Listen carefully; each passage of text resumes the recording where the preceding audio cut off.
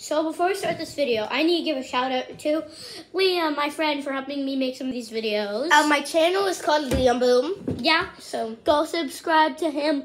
Do it. Do it right now. Anyway, so we're doing a sour challenge. let's get started. Three, two, one, go.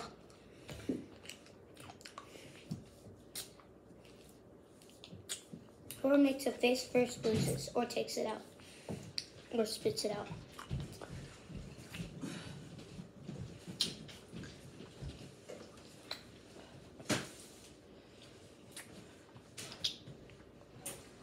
Max, your face is looking. Okay, he wins. Bye.